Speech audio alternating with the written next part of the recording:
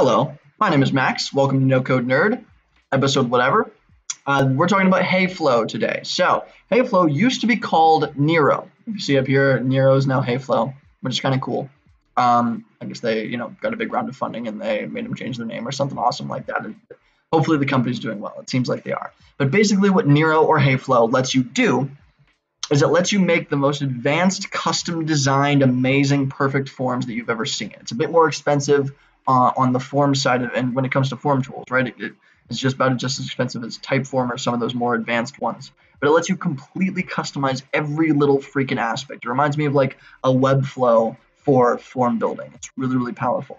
Um, anything you can imagine building in this thing, uh, you can build uh, in terms of a, a, flow, in terms of an onboarding form, in terms of just a quiz, in terms of anything like that.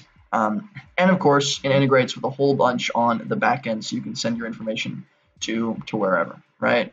Super awesome stuff. Super, super awesome stuff. So if you need to create a lead gen form or recruiting form, some e-commerce kind of quiz, uh, a relic retention marketing, or um, just other customer support or lead gen tools, and you need them to be completely awesome and amazing and custom, I would recommend Niro because it seems to have the most flexibility design-wise and functionality-wise out of every single other form tool that I've seen. Correct me if I'm wrong. I would love to hear about other tools, but Niro seems to be the best one that I've ever seen in terms of those those uh, points. So, if you want to build something like that, if you want to build an awesome flow or an awesome form, check out Heyflow or Niro.